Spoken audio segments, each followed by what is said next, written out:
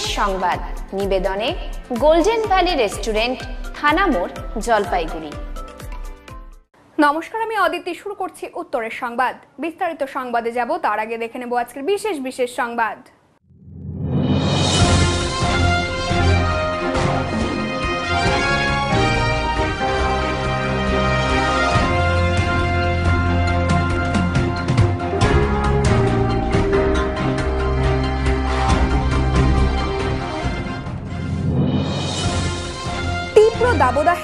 নাজেহাল শহর। তারই মধ্যে করোনা আক্রান্ত হলেন আটজন বুধবার সম্পূর্ণ লকডাউন মেনে চলার বার্তা প্রচার মাইকে।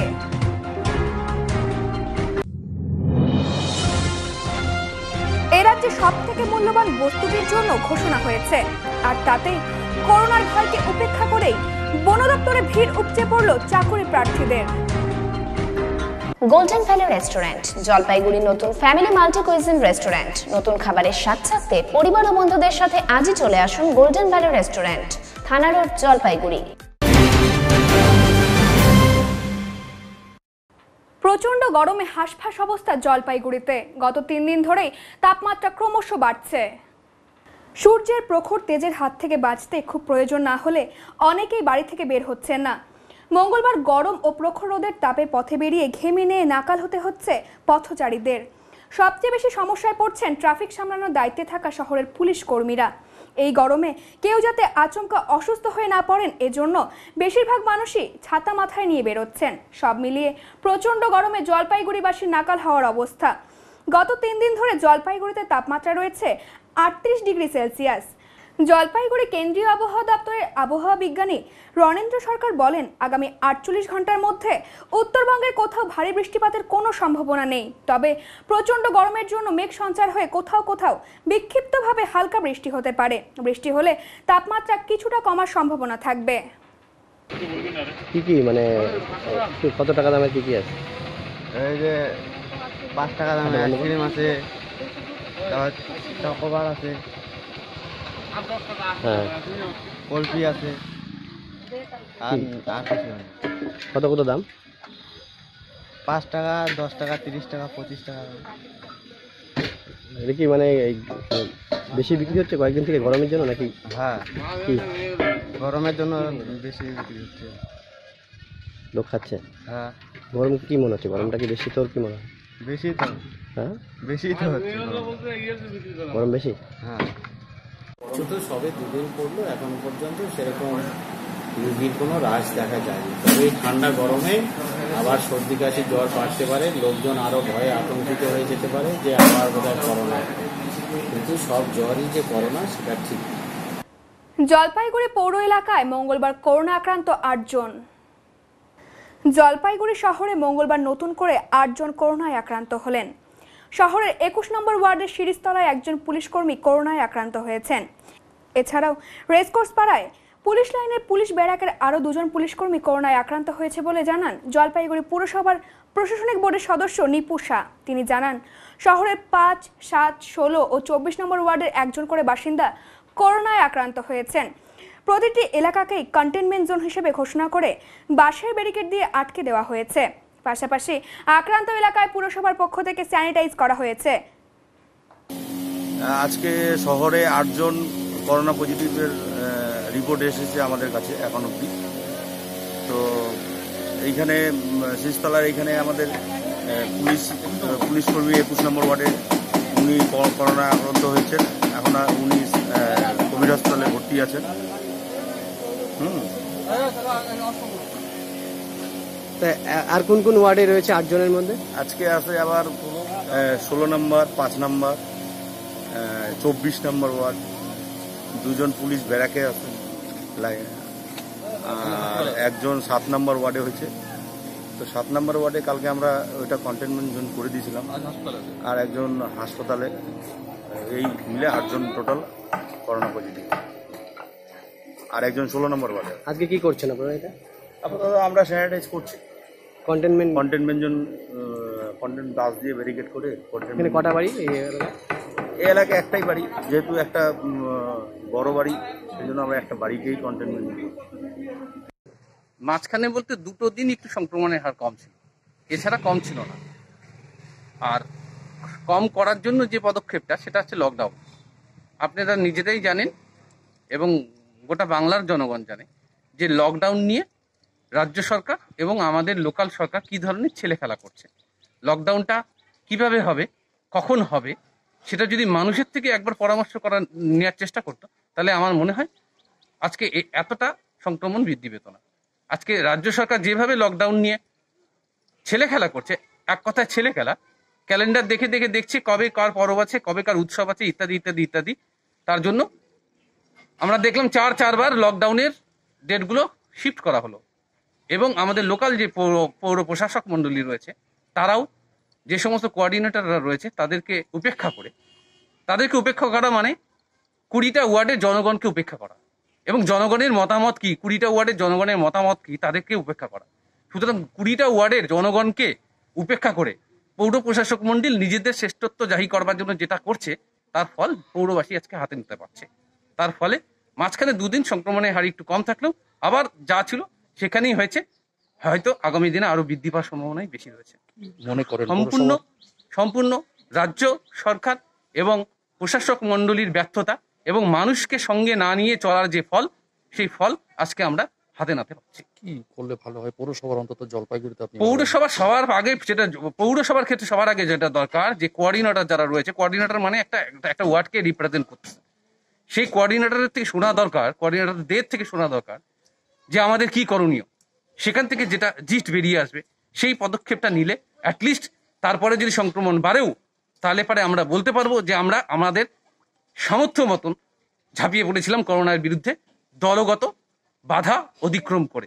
কিন্তু আজকে একথা তো বলতে কোনো অসুবিধা নেই যে শুধুমাত্র একটা দল, প্রশাসক মণ্ডলীকে ইউজ করে তাদের শ্রেষ্ঠত্ব জাহির করবার জন্য আর যে কোঅর্ডিনেটর রয়েছে তাদেরকে উপেক্ষা করে প্যারালেলি আর কুড়িটা ওয়ার্ডের যে মানুষ রয়েছে, তাদেরকে উপেক্ষা করে তারা নিজেদের শ্রেষ্ঠত্ব জাহির করতে জলপাইগুড়ি মানুষকে আজকে খাদের মধ্যে ফেলে দিচ্ছে।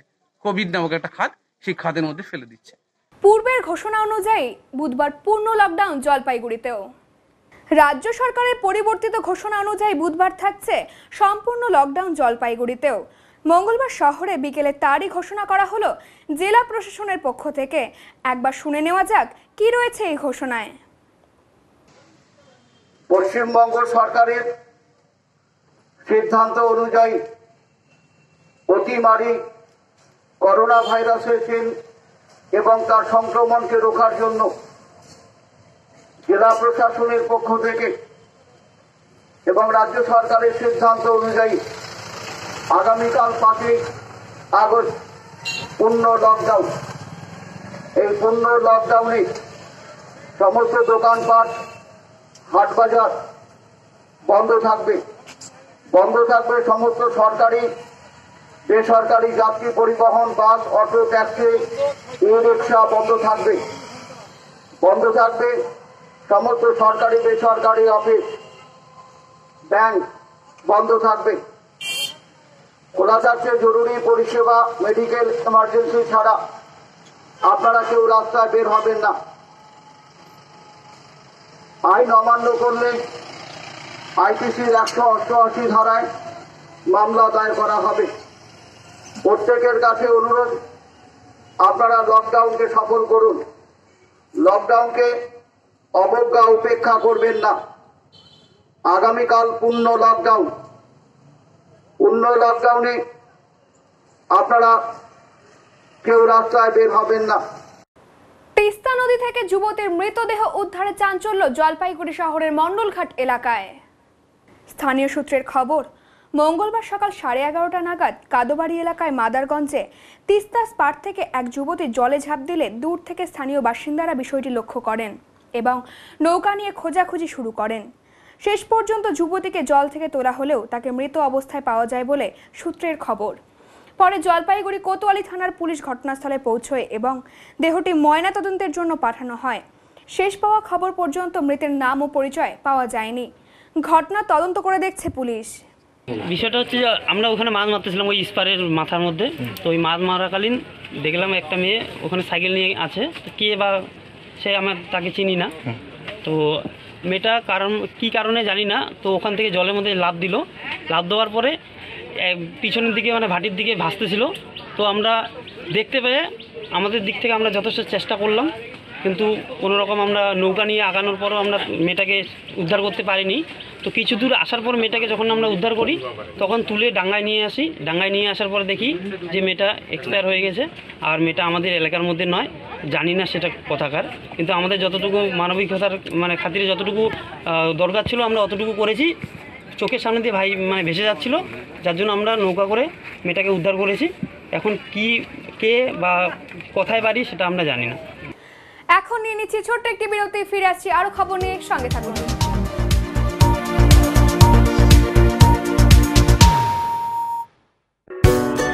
জলপাইগুড়ি শহরে শিল্প সমিতি পাড়া উজ্জ্বল মেডিকোতে নিয়মিত প্রতি মাসে বসছেন ডক্টর অজিত কুমার সিং নেফ্রোলজিস্ট চর্মরোগ বিশিষ্ট ডক্টর শুভম চ্যাটার্জি এন্ডোক্রিনোলজিস্ট ও diabetologist doctor Shubhadeep Pramanik doctor Biswadeep Basu Majumdar cardiologist neurologist doctor Joydeep De neurologist doctor Joydeep Ghosh gastrologist doctor Prabhat Ranjan diabetologist doctor Hiranmoy Pal physician doctor Kumar Atanu orthopaedic surgeon doctor Sanjay Bal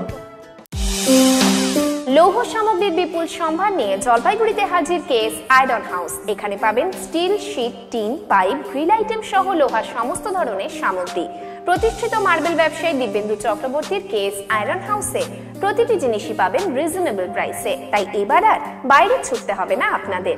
লোহা এবং লৌহজাত যাবতীয় সামগ্রী কিনতে হলে আজই চলে আসুন KS iron হাউসে। আমাদের ঠিকানা কেএস আয়রন হাউস, চার নম্বর ঘুমটি, জলপাইগুড়ি।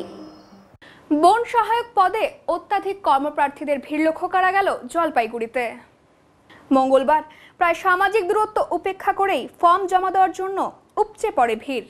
খবরে প্রকাশ, কয়েকদিন ধরেই বন সহায়ক পদে প্রার্থীপদ চেয়ে আবেদনপত্র জমা হচ্ছে জলপাইগুড়ি অরণ্য ভবনে। আর সেই খবরের ভিত্তিতেই সকাল থেকে প্রচুর কর্মপ্রার্থীরা লাইন দিয়েছিলেন জলপাইগুড়ি অরণ্য ভবনের সামনে। সামাজিক দূরত্বের বালাই ছিল না বললেই চলে। বর্তমান পরিস্থিতিতে দাঁড়িয়ে এভাবে ভিড় করা কতটা যুক্তিসঙ্গত এই নিয়ে প্রশ্ন থেকেই যাচ্ছে। এক জায়গায় জটলা করে ফর্ম জমা দেওয়ার চিত্র দেখা যায় কর্মপ্রার্থীদের মধ্যে।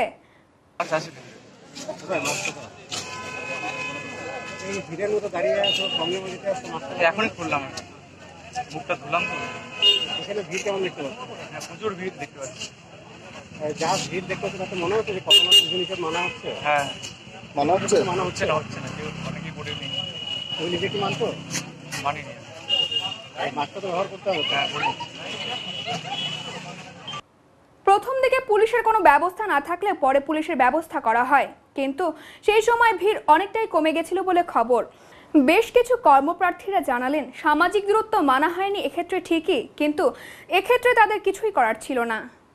আমি চেষ্টা করছি যে আমাদের স্টাফ আছে, আর আমাদের যে পুলিশ সহযোগ লাগবে, ওটা নিয়ে আমি অলরেডি মতলব চিঠি হয়েছে দরখাস্ত হয়েছে।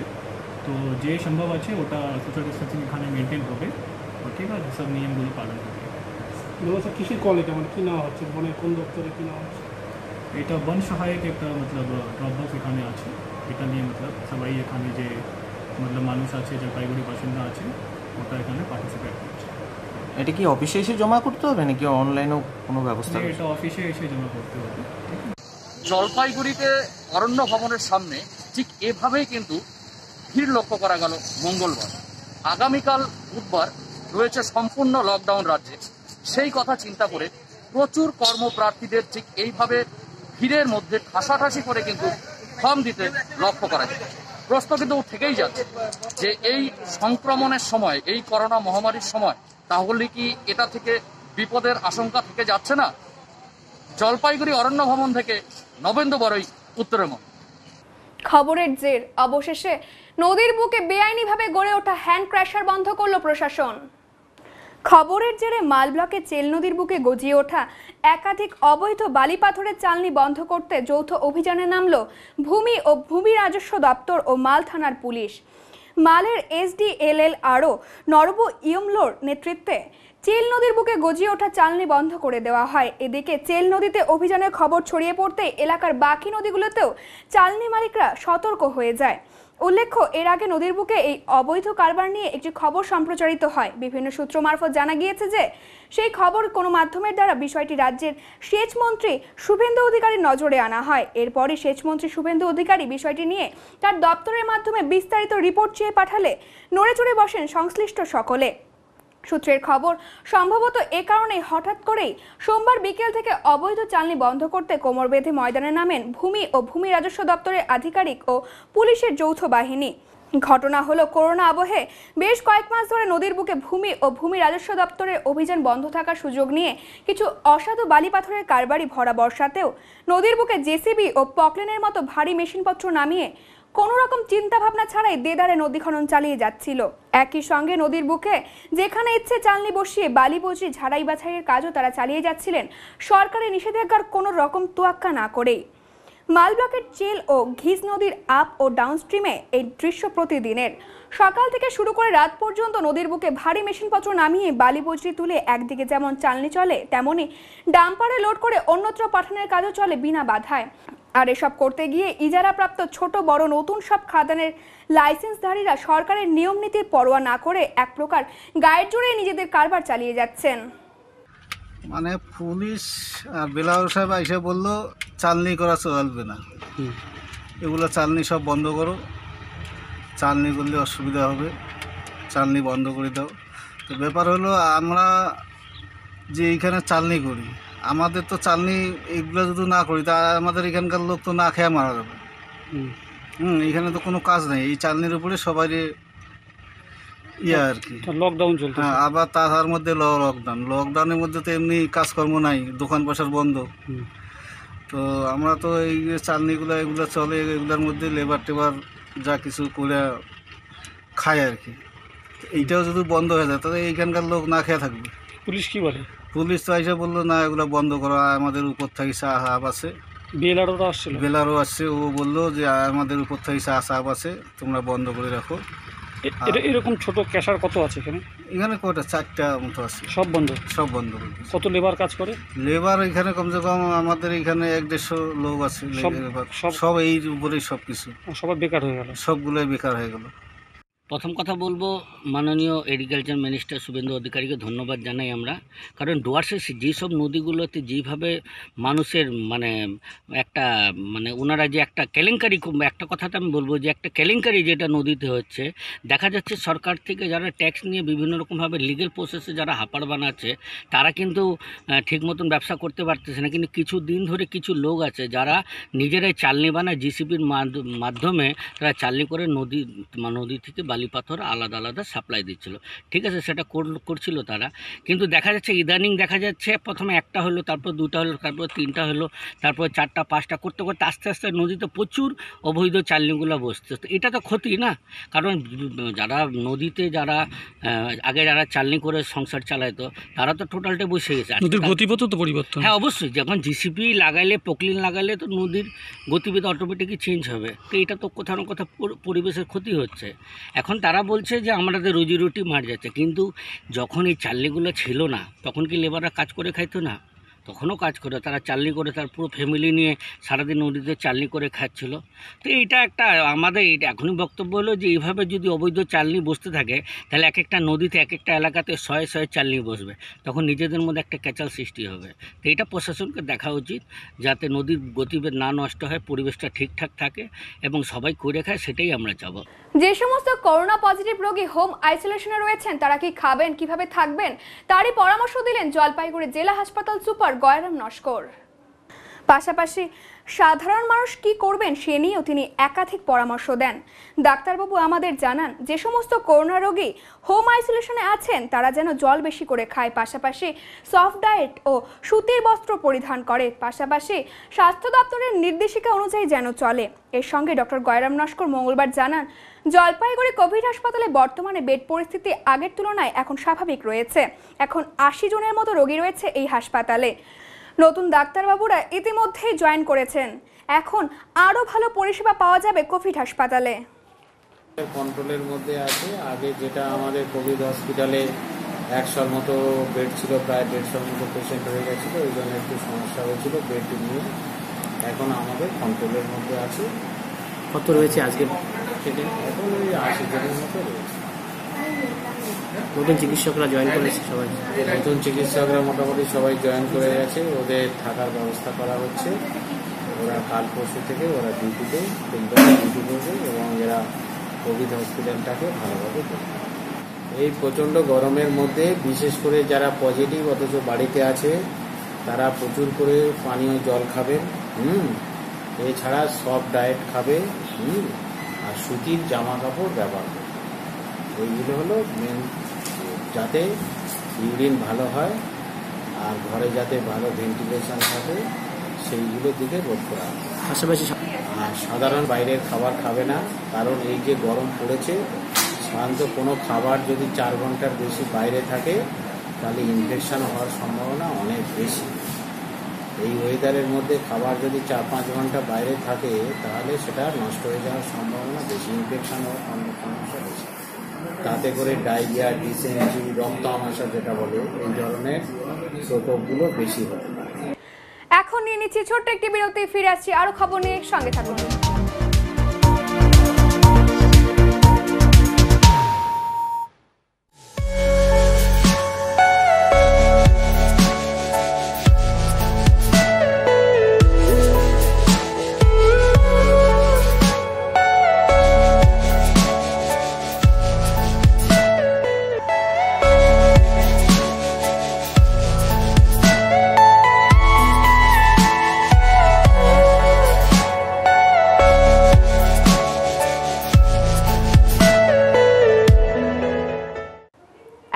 আবহাওয়ার খবর।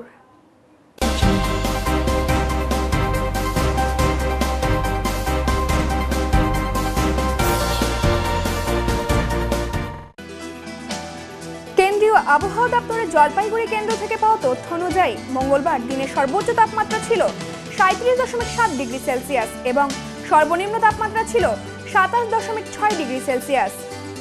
মঙ্গলবার সকাল আটটা তিরিশ মিনিটে বাতাসে আপেক্ষিক আর্দ্রতার পরিমাণ ছিল উনসত্তর শতাংশ এবং বিকেল পাঁচটা তিরিশ মিনিটে এর পরিমাণ কমে দাঁড়ায় সাতষট্টি শতাংশে। শেষ করবার আগে আজকের বিশেষ বিশেষ সংবাদ আরও একবার।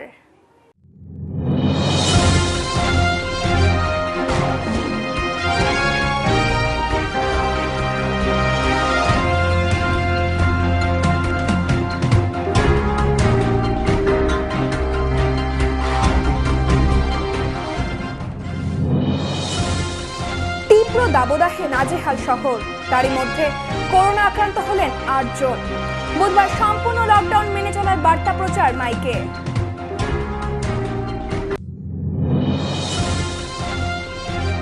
সব থেকে মূল্যবান বস্তুটির জন্য ঘোষণা হয়েছে। আর তাতেই করোনার ভয়কে উপেক্ষা করেই বন দপ্তরে ভিড় উপচে পড়ল চাকুরি প্রার্থীদের। উত্তর এমন পরিবেশিত উত্তরের সংবাদ এখনকার মতো এ পর্যন্তই। নমস্কার।